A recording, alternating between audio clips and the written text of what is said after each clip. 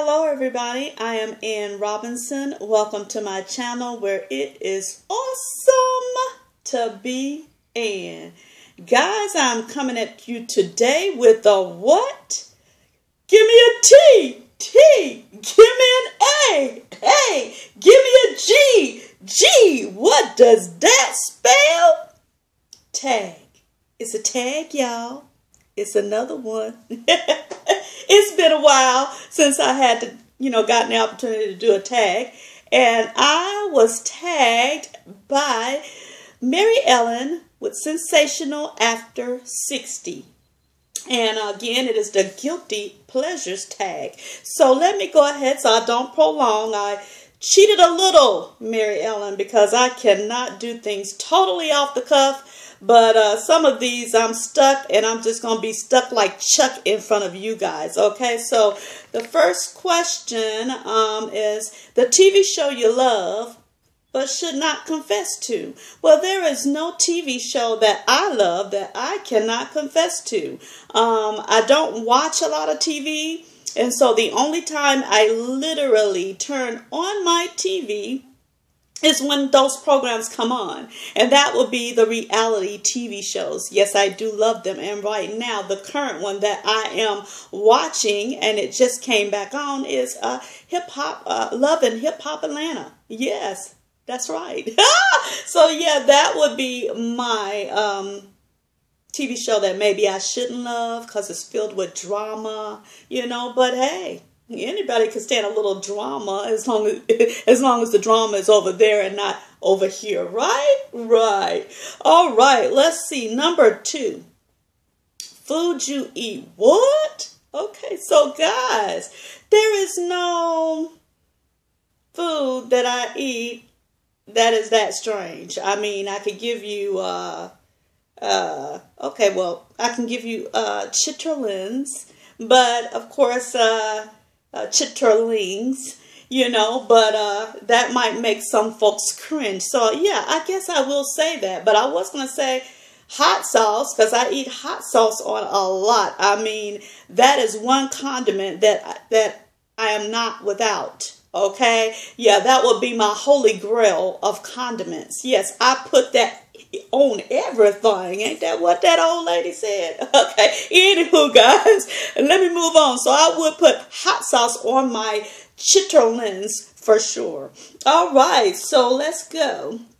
Um, num number three, music I love that others just cringe at. Well, now the only thing that would make some people in my life cringe because they believe that music is white or black and music has no color. So my thing is I love me some Taylor Swift. I love me back in the day because I haven't heard her do anything lately. Kelly Clarkson. Yes, okay. Katy Perry. Okay. Lady Gaga. Oh yeah. Okay. Turn it up, turn it up, turn it up. Yeah. Okay, so that would be, yeah, maybe would make some folks cringe, but for me, yeah, people in my family, my friends, you know, yeah, that, you know, may, may make them cringe. But you guys, y'all are hip. I know that some of y'all are like on the low, low Taylor Swift fans, right? Okay. All right. Number four, my guilty online habit. Well, guys, I have to say that is YouTube. Um, yeah, YouTube. First of all, um, my family and my friends don't really a lot of them don't even know that i have a, a youtube channel okay? Uh, yeah uh, a lot of people even my coworkers do not know that i have a youtube channel. Now i do have a couple of folks that i, I worked with that have learned that i have a youtube channel and um, they watch and uh, I have one family member that had put a comment down in the comment section and you talk about somebody who looked and had to double look and relook again to say how in the world did she find me? But she found me. And I said, oh, I'm busted. I'm busted. You guys probably know more about me than some of the folks in my own family and uh, uh, people that even I work with. I mean, if they ask, maybe they would get to know a girl, right?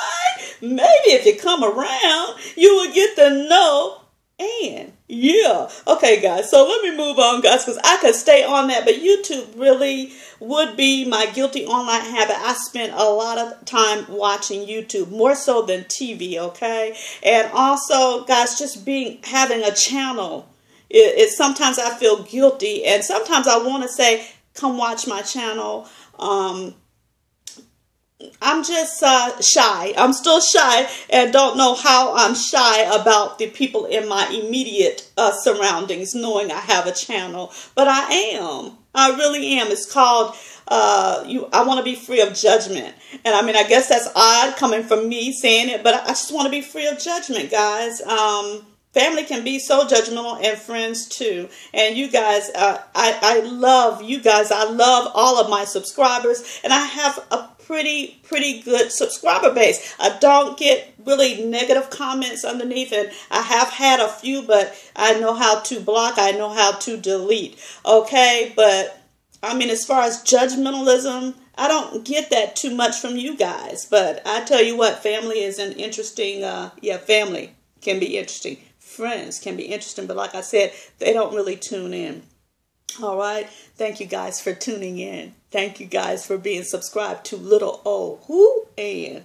All right, guys, that was a long answer for that, just that one question.